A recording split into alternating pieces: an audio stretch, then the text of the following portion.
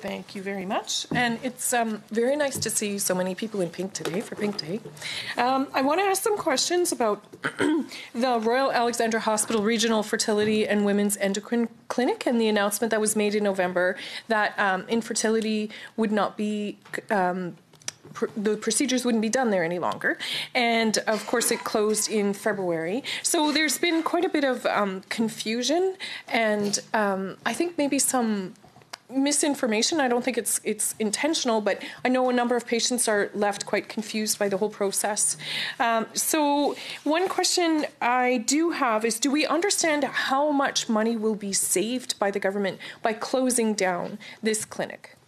Yeah, thank you very much for the question, and uh, we know how personal this. Uh, um, challenge with uh, infertility is for families and uh, and for those who want to have children uh, can be uh, extra challenging and we um, also uh, know that it can be a really stressful time for patients. I want to reiterate that any of the non-insured services, those are the pieces that won't be delivered there, but the insured services, including diagnostics, um, uh, additional counseling services, uh, will uh, be covered. We're also covering the cost differential between the AHS clinic and the and the other clinics of the patient's choosing um, through a transition period, and uh, um, uh, two hours of access to mental health counselors, uh, cost of transfer of frozen materials. So, so money is not uh, a, a, driver for sure in this first year in particular because we want to ensure a smooth transition. But this is about things that are covered uh, publicly, being delivered in public facilities, and having the uh, expertise uh, within that facility to provide the public piece,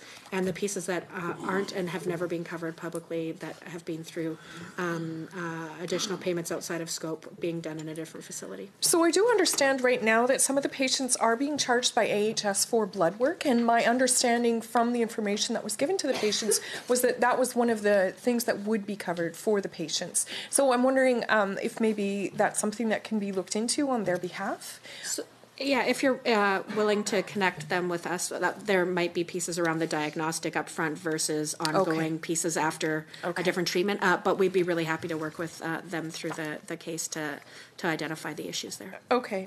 Um, now, I am also aware that uh, some of the physicians from the private clinics are working with government to develop um, uh, regulations. And my understanding right now is that in the private clinics, women who have a BMI over 40 are being turned down for service. They're they're not being accepted as patients for infertility treatment, um, and they were previously. Uh, being accepted. So it seems like there's a gray area. And if that's an area of development of regulation going forward, I think it's really important that the patients be aware of what might be coming down the pike. Um, and, and to remove as much um, confusion and misinformation for them as possible. Um, I don't know if that's something that the ministry is aware of at all. So uh, we uh, are um, looking into the blood work issue. I want to reiterate that I. Uh, um, uh, I'm not aware of public clinic policies, but I can tell you that there aren't government regulations that are are driving this. The the private clinics or clinics in general uh, may have uh, policies around uh, decisions uh, around patient uh, um, access and, and, and, outcomes to based on based I'm assuming based on medical best practices, but policies within their own clinic um, that are related to uninsured services wouldn't be something that government is involved in.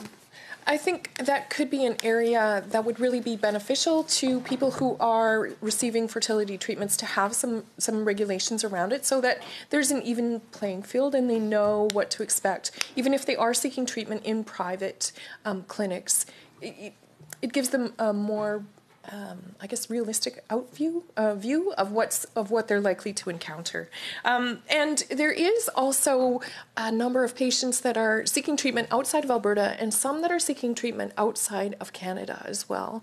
And I'm wondering if there's been any analysis done of the costs of keeping infertility uh, within the province and actually looking at publicly funding infertility treatments versus what's happening right now, and if there's an understanding of any cost benefit benefit that might be realized by keeping those treatments um, within Alberta, within our healthcare system, within the publicly funded realm. Yeah, so that's a pretty complex question, and uh, certainly uh, want to again honor all of the folks who are struggling with uh, fertility um, for uh, a variety of different situations. I know that it can. Oh shoot. Thank you.